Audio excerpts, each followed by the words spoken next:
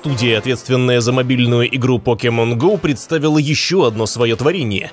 Только если раньше она предлагала увлекательно проводить время во время прогулок, то теперь не требуется вообще ничего делать и никуда ходить. Нужно просто спать. Приложение, получившее название Pokemon Sleep, работает в связке с выполненным в форме плоского покебола устройством Pokemon Go++ и отслеживает качество и продолжительность сна. За хороший качественный отдых игроки будут получать какие-то награды и продвигаться в прохождении. Запуск запланирован на 2020 год. Еще бы получить какую-нибудь Pokemon Eat, где будет контроль за приемом пищи и справлением нужды, и мы станем свидетелями The Sims в реальности. Сегодня понедельник, 3 июня 2019 года, и вы смотрите главные новости игр последних дней от GSTV.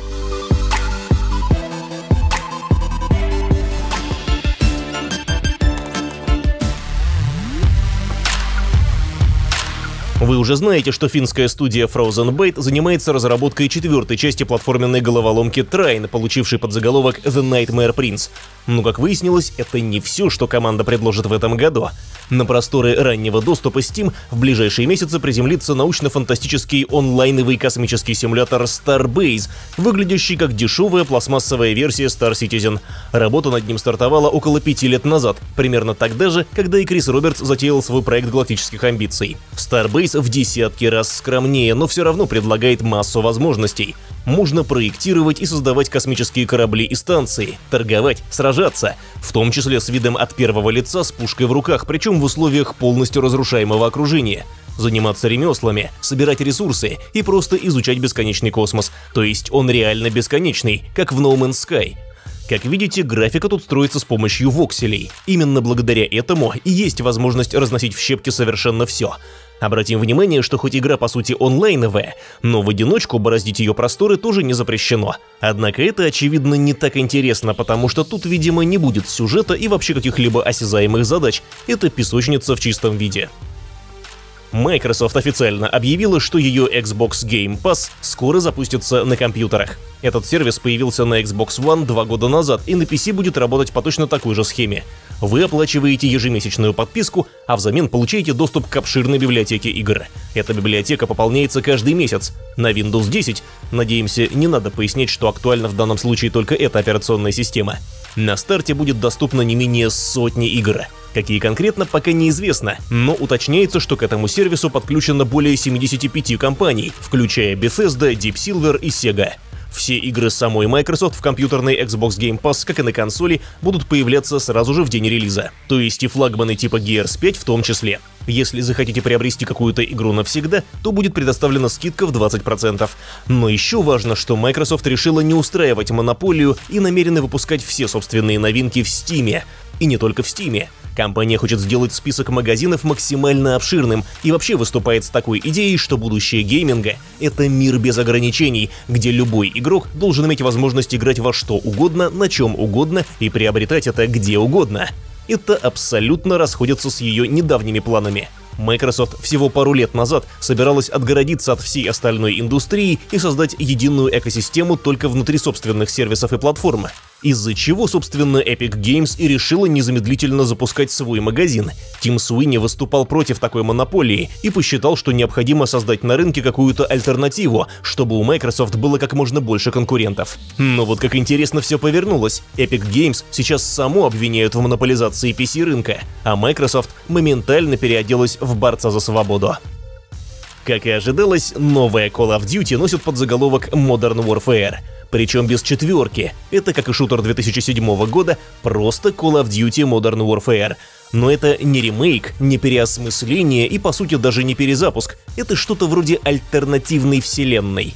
То есть многие персонажи те же, Капитан Прайс на месте, подача истории и общая идеология примерно прежние, но сюжеты время действия другие, а события оригинальной трилогии в этой реальности не происходили. Infinity Ward в этот раз решила сделать максимальный акцент на погружение и фотореализм. Применяется, помимо прочего, технология фотограмметрии, а объекты создаются в масштабе один к одному на основе реально существующих.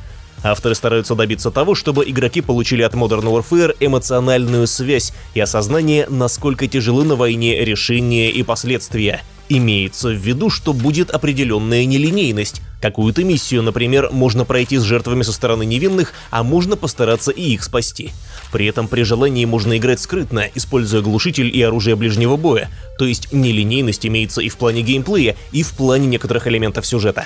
Но в целом одиночная кампания будет тем же самым по-голливудски скроенным аттракционом.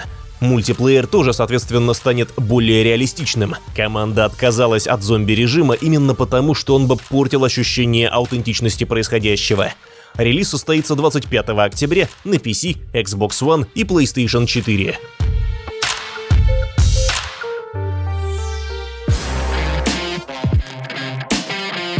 В продажу поступила в Embrace Cold Soul. Это рогалик в стиле Darkest Dungeon.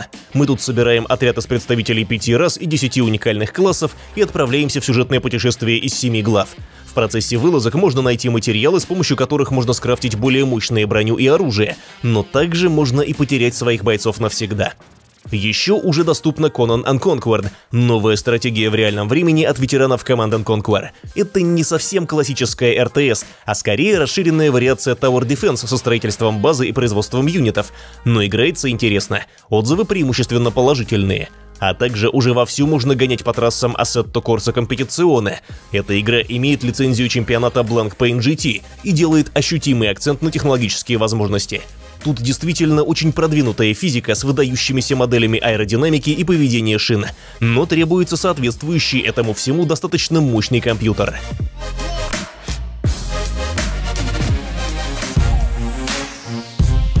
Помните, Клифф Ближинский одно время делал королевскую битву Radical Heights, которая была отменена из-за провала Lawbreakers и внезапного закрытия студии Bosky Productions. Работа над ней была прекращена непосредственно перед распуском команды. Ближинский прямо в самый разгар трудового дня просто написал в Твиттере, что Босски прекращает свою деятельность, в то время как сама студия в этот момент вовсю делала Radical Heights и оказалась натурально в шоке от такой новости.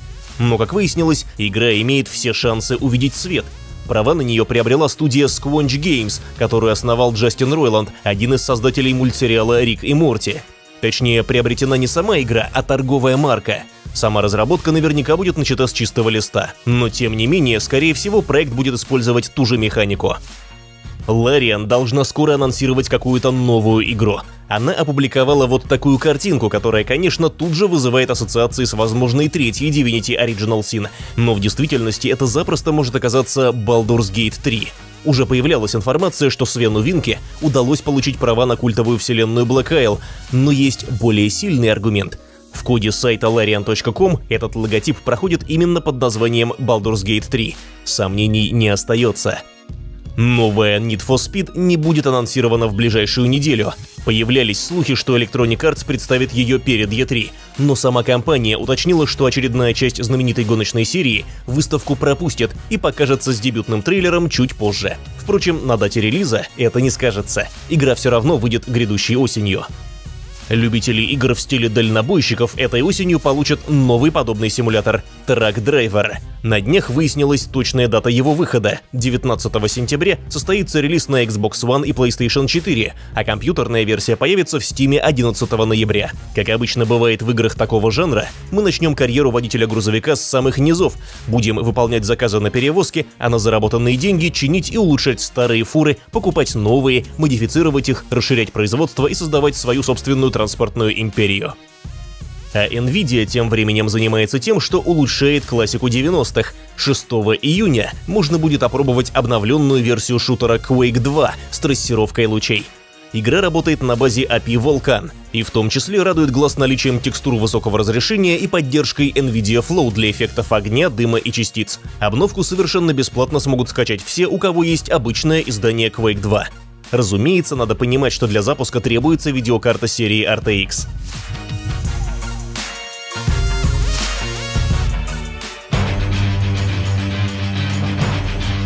Хидео Кадзима показал новый эпичный трейлер Death Stranding, из которого уже становится вполне понятно, какая игра нас ждет.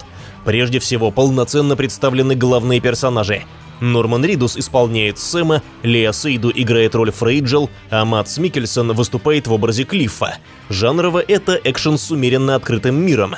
То есть не во все места можно попасть, свои границы имеются, но, например, если хотите забраться на вот эти горы из трейлера, это можно сделать, они представляют собой полноценные игровые зоны. Также не обязательно все время бегать на своих двоих, техника тоже присутствует. Наша задача по сюжету — объединить между собой изолированные города и раздробленное общество. При этом отмечается, что все элементы игры, включая историю и геймплей, связаны между собой особой системой нитей. Понимаете, как хотите. Еще наглядно продемонстрировано, что стрелять тоже предстоит. Раньше казалось, что это просто какой-то симулятор ходьбы, но на самом деле Death Stranding вполне полноценный боевик и с элементами шутера, и с элементами рукопашных боев. Среди врагов будут и монстры, и люди, и что-то среднее между ними. Но в первую очередь это стелс. По крайней мере заточен геймплей именно под осторожное вдумчивое прохождение, где стрельба все-таки остается крайним вариантом решения проблем.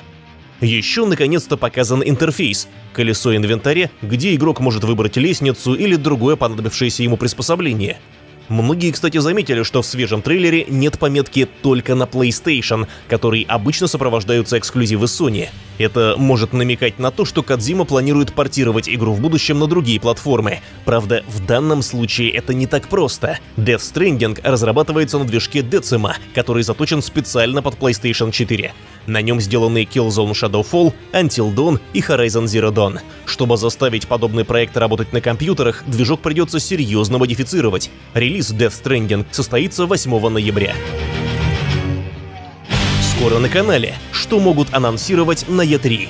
10 самых ожидаемых проектов, которые могут быть презентованы на выставке. А на этом пока все. Играйте в хорошие игры и до новых встреч на GSTV.